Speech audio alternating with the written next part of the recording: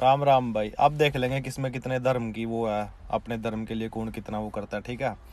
हिंदुओं, तुम्हें अपने भगवान की कसम है। कोई किसी के धर्म को गाली नहीं देगा।